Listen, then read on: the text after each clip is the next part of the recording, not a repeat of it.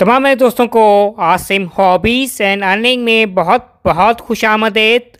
Welcome to Asim hobbies and earning दोस्तों अब इस वक्त मेरे हाथ में आप जो क्वाइन देख रहे हैं, ये पाकिस्तान का ये क्वाइन है और आज की वीडियो में इस क्वाइन के हवाले से what about the front side of this coin what about the back side of this coin what about the images on the back and front of this coin what about the face value of this coin year of issue this coin What about the diameter, mass, thickness, shape, composition? Each and every information can be shared regarding this Pakistan coin. And especially what about the price nowadays here in Asia, Pakistan and the worldwide. So please kindly subscribe my channel and press notification button to keep in touch next coming videos regarding coins. जैसा कि मैंने video के शुरू में कहा कि ये पाकिस्तान का ये कॉइन है that is to be the front side of a Pakistan coin और सेंटर में आपको जो जो चांस तारा नज़र आ रहा है that can represent crescent and star और उसमें है अरेबिक और देवनगरी फॉर्म में है। इसमें अरेबिक फॉर्म में हुकूमत पाकिस्तान नीचे उर्दू में लिखा हुआ है, और देवनगरी और अरेबिक फॉर्म में भी लिखा हुआ है, और ये कॉइन है इशू हुआ ईयर 1967 में ये कॉइन है इशू हुआ, और it is to be a circulated coin 1963 से 1967 तक है, इस कॉइन का ही ये सर्कुलेटेड ये पीरियड रहा। ये सारी की सारी इन्फॉर्मेशन थी। इस क्वाइन के फ्रंट साइड के हवाले से अब बात करेंगे कि इस क्वाइन की बैक साइड के हवाले से that is to be the back side of है पाकिस्तान क्वाइन और ये जो क्वाइन है रिप्रेजेंट करता है सेंटर में आपको है, नीचे बॉटम सेंटर में आपको 25 लिखा नज़र आ रहा है इंग्लिश फॉर्म में है। इसकी यह फेस वैल्यू है, ये 25 पैसे का ये क्वाइन है। और सेंटर में आपको जो जो फ्लावर्स नज़र आ रहे हैं that can represent the spring flowers और कॉर्नर में है, लेफ़्ट और राइट पे है, पच्चीस पैसा लिखा हुआ है, उर्दू लैंग्वेज में लिखा हुआ है, और साथ ऊपर है अरेबिक फॉर्म में है, पच्चीस पैसा लिखा हुआ है। ये तो सारी इन्फॉर्मेशन थी इस की है बैक साइड के हवाले से। और अब बात करेंगे कि इस के है डायमीटर के हवाले से।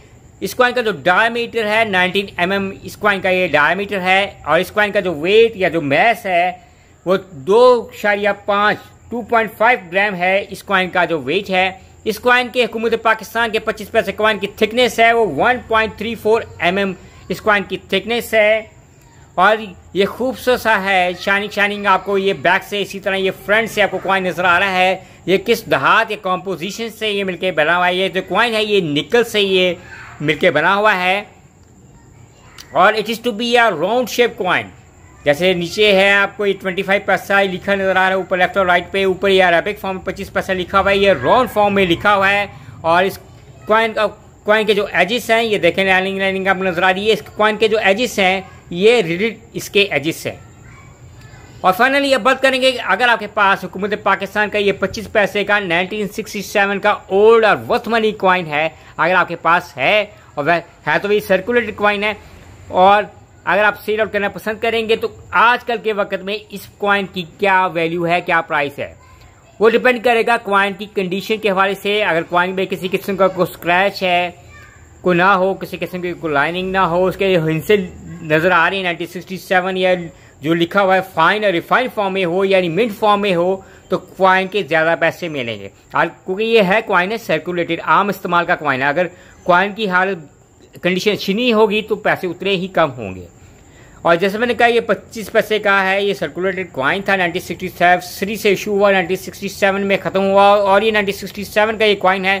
तो अगर किसी, अगर अच्छी कंडीशन जिस तरह ये अच्छी कंडीशन का क्वाइन है तो एटलीस्ट आपको इस क्वाइन के पाकिस्तान में चार डॉलर तक मिल सकते हैं। पाकिस्तान से बाहर अगर किसी आप एशियन कंट्री में या वर्ल्ड वाइड अमेरिकन किसी भी दुनिया के किसी जहाँ में, की कंट्री में आप सेल आउट करना पसंद करेंगे तो शिपिंग चार्जेस डाल के एटलीस्ट आपको इस क्वाइन के चार छः डॉलर तक है। चार डॉलर तो पाकिस्तान में या एशिया में या वर्ल्ड वाइड कहीं बेचेंगे तो एटलीस्ट छः डॉलर तक है आपको इस क्वाइन के पच्चीस पैसे के 1967 के ये मिल सकते हैं। और उम्मीद करेंगे कि मेरे देखने वालों को, चाहने वालों को आज के वीडियो पाकिस्तान के 25 पैसा क्वाइन ईयर 1967 के क्वाइन के हवाले से पसंद आएगी। Bye from Asim hobbies and earning